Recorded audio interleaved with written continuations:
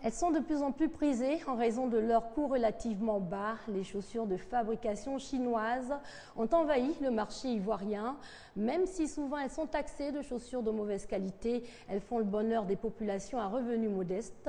Leur succès fait néanmoins grincer des dents du côté de la concurrence. Le dossier du dimanche est signé Masso Kone et Franck Quadou. Adjamé, marché Chine, non loin de la mairie. Cette chaussure, à peine achetée, est déjà en train d'être cousue. Un fait récurrent ici. Et pour cause, ces chaussures, le plus souvent d'origine chinoise, sont jugées pas de bonne qualité par certaines clientes. Les chaussures chinoises ne sont pas de bonne qualité. C'est vrai que c'est à moindre coût, mais ce n'est pas de qualité. Je préfère acheter les chaussures de bonne qualité, que ce soit importé ou bien fait ici. Les chaussures qu'on appelle chaussures chinoises ou bien shintok là, ce n'est pas durable tu payes ces deux jours. C'est pour cela que je préfère les bonnes chaussures, la qualité. Ces chaussures peu coûteuses en réalité sont en revanche bien appréciées par d'autres femmes. Ces dernières les trouvent assez résistantes. Suffit de bien les entretenir. Moi je paye, c'est le bon cas, ça dure dans ma main.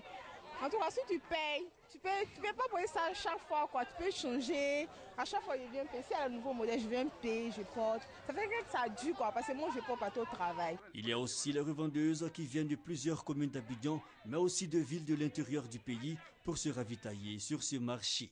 Les prix ici sont abordables et les marchandises, une fois achetées, sont vendues sur des étals dans les différents quartiers. Les chaussures, là, ça marche, mais souvent, il y a d'autres qui ne durent pas. Il y a d'autres qui durent. Les clients qui quittent en brousse pour venir acheter ici. Et puis, il y a les gens, il y a d'autres qui sont ici et payent ça aussi. Bon, je viens de Boaké pour me ravitailler en chaussures. Ces chaussures chinoises marchent bien. Les clients apprécient beaucoup parce qu'ils n'ont pas assez d'argent et qu'ils sont moins chers.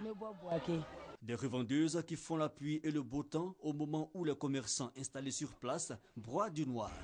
Ils sont nombreux sur le site, ces vendeurs de chaussures de marque et d'origine, victimes indirectes de l'invasion des chaussures venues d'Asie. Aujourd'hui, euh, le marché est partagé avec euh, d'autres revendeurs également qui ont des prix un peu plus compétitifs que nous.